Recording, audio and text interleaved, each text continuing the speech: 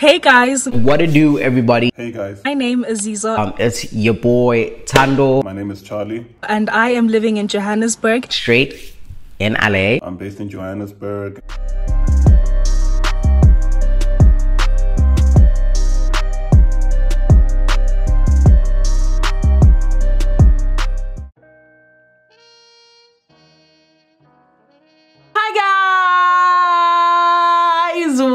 Back to my channel. If you haven't subscribed yet, then make sure that you click the subscribe button below and uh, join the revolution. We are on the road to 2k, so please guys, let's do best. Also turn on your post notifications so that you know every single time I post. I am back with quarantine content. Today, We're gonna be talking about Quarantine and chill. Courtesy of the coronavirus. aka COVID 19. We are going to be comparing life in America versus South Africa. Thando and I are going to be representing America because we are both in America at the time, but we are both South African. And Charlie and Zizo are going to be representing South Africa because that's where they are right now. So let's get into it.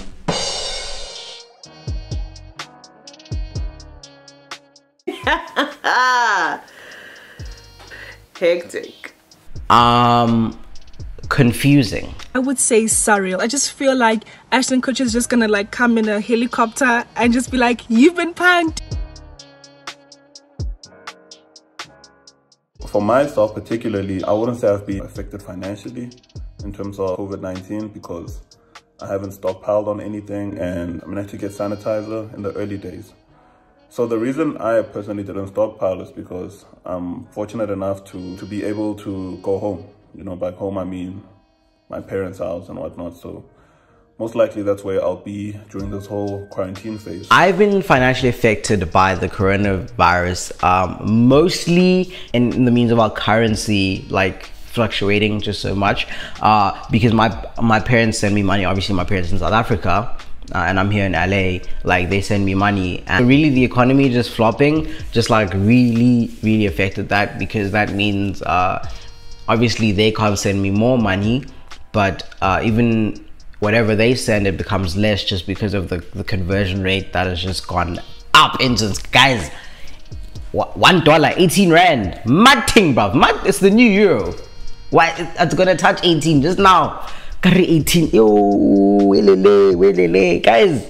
Even though I am receiving less money, like things like food and housing aren't going down. It just puts everyone in just a really weird situation financially. I haven't had to move from where I'm staying, which was good because I I um I rent an apartment, so it's not like I was at a student residence. So I haven't had to move out and find another place. Um, in terms of food, um, yes, of course. That other race is um I'm kidding. um, of course there are people who have just gone crazy and started, you know, stocking up on food. And so obviously the grocery stores are empty, but they're being restocked. And I just don't have the energy to go fight for food. So, you know, that God, God has me covered. If I eat, I eat. If I don't eat, I don't eat. You know, it's what it is, bro. I would say that the corona pandemic has had a more financial strain than a relief because I am studying in Stellenbosch in Western Cape and I came back home two weeks earlier. And obviously, I planned my budget according to that, you know. So I had to book a flight and flights were so expensive by the way. Normally you get a flight for like a thousand 1.2 but then that time when i was booking a flight to come back home it was like 3.2 you know? It was just crazy. Like everyone was just going back home because of this whole thing. And i mean at the end of the day like you had to pay that money because you want to go home you know? Everything was just happening so fast at the time and we just weren't sure what the president was going to say. You know maybe he was going to lock down the country and then you're stuck there. So you didn't want to take that chance. And so the next flight that was going to joburg like i was there. So it did really have a financial strain. In terms of relief i would say that I was supposed to go out with friends and stuff, but then because we're practicing like social distancing, I have saved money on, you know, spending on petrol. So, yeah, I guess I saved, but you know, the strain, you know, exceeds. And since the whole corona thing happened, school actually got shut down and a good sis was homeless for a grip, an actual grip. I'm gonna release a story time talking about it next week. But anyway, because I'm living in school, it means I was eating here at school. Everything I needed was like here at school. But since the whole corona thing, I've had to spend money on food. I've had to buy like tons of food. Um, normally I would just be buying snacks or, you know, light meals or anything like that to get by. But now I'm buying food for survival. I'm having to buy food. I'm having to buy water and water has run out in the shops like as in there's the, the, the things are empty you know what I mean? And because water is sold out you find that people have left only the expensive brands on the shelves and so you have to like pay more just to have water you know what I mean? And for me to go to Walmart I have to use Uber. I don't have a car or anything like that um, so I have to use Uber which is basically risking my life all that personal close contact lack of social distancing. But I have to use Uber to get there and to get back. So something that I forgot to add that I had to do a selfie video to add is that I work at school. I have two jobs at school that pay me. And so because school is now shut down that means I have no source of income. I'm unable to do both of my jobs that I have. And so that means that first of all, I'm having to spend money on food, but also the two jobs that paid me have been suspended. And also the exchange rate. How can I forget to add all these things? What's wrong with me? The exchange rate is now, I think it's $1 to I think it's 17 and so the exchange rate has increased drastically which means it's more expensive for me to be living here. It's more expensive for my parents to be sending me any kind of money. In general there's an increased amount of things that I have to buy um, and my money means less like rands are less. To send money is more expensive and also I'm missing two sources of income. Thank you coronavirus personally and emotionally. I wouldn't say it has affected me much to be honest because I just still feel like it's surreal. It affected me more like in a spiritual sense. I wouldn't say whether like if I'm happy or sad or whatever but I think in a in a spiritual sense it's really made me think that like we are living in the end times you know. Like we've never as a country we've never faced something like this. And so for you to actually endure this period and you're just thinking like yo everyone is just like on this thing of fix your relationship with with god with jesus christ is coming soon. It just feels a lot more real now because you know we're living during the thing you know. So it's really I would say that's the only way that it's affected me. I find myself like sometimes just sitting and being like, surely this isn't real. It doesn't feel real. I know it's real, but it doesn't feel real. It feels like I'm in some kind of a horror movie and it's like a joke. Like how am I living in this how am i living through this right now it's hard it's tough so like i said school got shut down meaning everybody moved out and there's like very few people here it's lonely man the loneliness is really starting to creep in um, you find yourself feeling just lonely. And you know the first few days of being by yourself being um, whether you're social distancing or you're in quarantine the first few days are like you know this is nice being away from people. You know my social battery had run out so I wanted to be alone.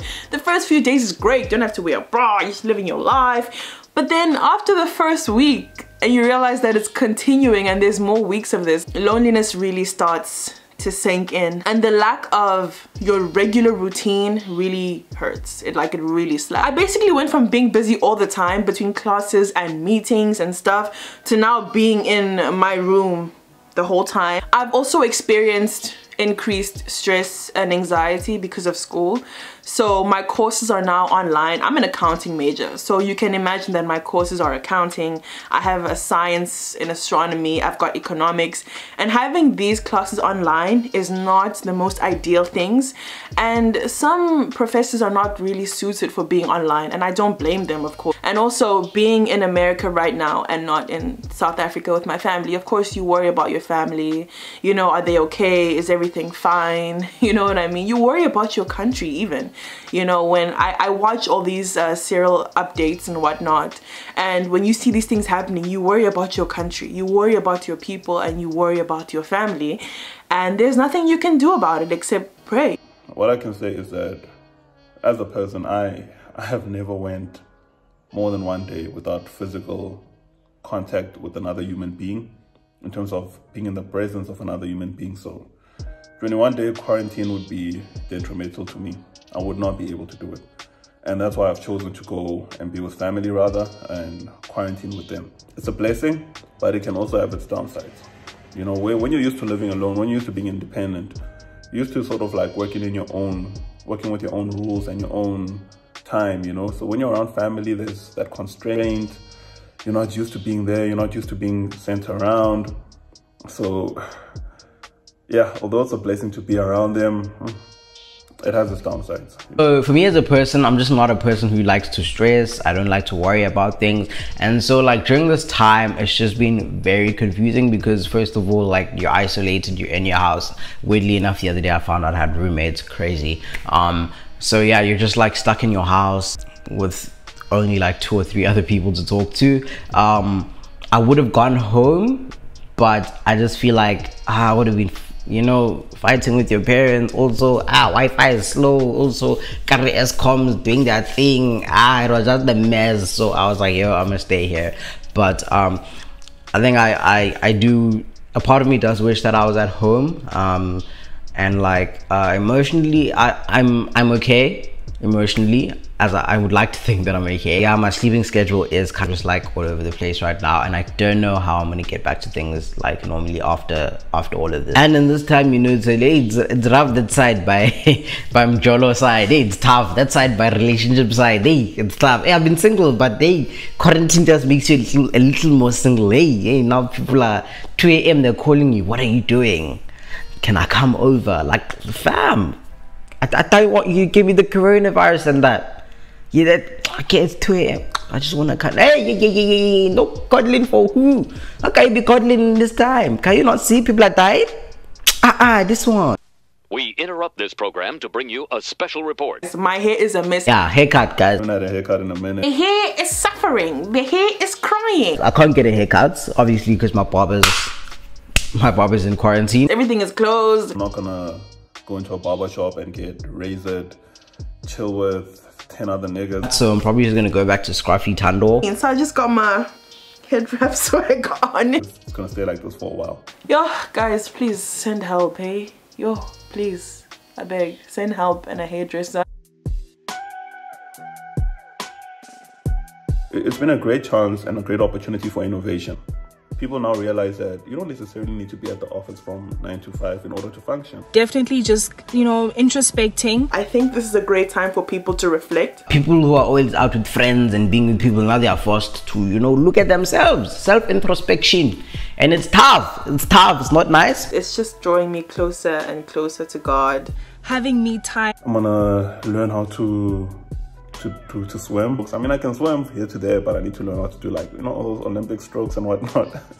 There's nothing wrong with sitting at home and just just sitting and doing nothing guys we all need that i think it's giving people the time off that life never awarded you before you know and it's kind of tricky because yeah it's giving you that you know time off life never awarded you but you know the stress of rent and and food and stuff is still there. So it's not a hundred percent break but i think that's what a lot of people needed at this time to slow down. It's forced people to slow down. I feel like god is like trying to to like tell us to like take a break you know like blom relax. Um I had a few people who were thinking of getting married people like my age they wanted to get married and then this happened. I was like god couldn't be speaking any louder eh God, because also me, I was just like, yeah, yeah, but, but I was like, yeah. So obviously, God is saying, not now, babes, not not now. During this time, it's just a time of reflection, a time of you know fixing your relationship with Jesus. If it's not, you know, you can talk to God from anywhere. You can talk to God from the comfort of your own home can talk to God on the street, you know. Your relationship with God is personal. The one thing that is just helping me push through is my faith in God and faith is I believe that faith is sort of is is directly connected to hope and so I do have the hope that, you know, everything will get better and hope is really connected to happiness. And so that's just what's kept me um, not necessarily happy, but I've just I've not been like down in the dumps and, and depressed and stuff. And so yeah, I definitely think that spirituality has played like a big role in that. Two things are certain. Number one, there's nothing new under the sun. That which was is what is is what will be, and there is nothing new under the sun. And number two, as a result of there being nothing new under the sun, you must know that God is God and God is God always. No matter what is going on, God is alive, God is here, you know now is not the time for you to run away from him and say, God, if you cared about humans, why would you let this happen? If God was real, why would he let people die? Blah, blah, blah, blah, blah. Draw near to him in this time. Praise his name, give him praise, give him glory, thank him. Even in this time where you're tempted to turn away from him, give him praise, give him glory. You know, he is God and he listens, he answers prayers. You know, he's close to the brokenhearted, he's close to those who are scared. And God commanded us, man. He said, do not be afraid, be of good cheer, be courageous. I know I quoted these last time, but worry about nothing pray about everything. Honestly in this time we need to give it all to god. Please i must urge you again. Go back to the cross. Go back to jesus. Go to him. Pray to him. Seek his face you know. He says draw near to me and i will draw near to you. He says that if you search for me with all your heart you will find me. Search for him with all your heart. Draw near to him and pray. Pray for yourself. Pray for your family. Pray for your loved ones. We need to be strong in faith So one sentence of five words to encourage people. Bruh, why does your thing look like an A? It feels like an English exam. Carry five words. Ah, to encourage people. Fix your relationship with Jesus. Pray, stay inside, wash hands. Only God can save us. Guys, I'm not gonna do five words. All I'm saying is that guys, relax. Um, try not to stress during this time. Uh, it may feel like a lot, but honestly, just look at it as a time for you to spend with yourself and improve yourself as a person um, especially with the use of the internet you know just get on there look look at some some positive content and really impart in your life. And i do think that everything will be okay. So guys before i sign off this video i just want to say that you're not alone. You're not crazy to be feeling what you're feeling. And times are tough yes but we need to be tougher we need to be tougher than the tough times because that's the only way that we are going to see our way through this. I urge you, please reach out to people, seek support from friends, from family, from counselors, from therapists, anyone who you feel can help you, who you need to talk to, please do reach out but I must say that the ultimate help comes from God. That's it for today guys. I hope you liked this video. Don't forget to comment, like, share and subscribe. Please go make sure that you subscribe to Thando and Zizo's channels. And guys, comment down below what your experience has been and any words of encouragement that you have for anyone down there that you think they might need or words that you told yourself because you needed it. Peace and love guys.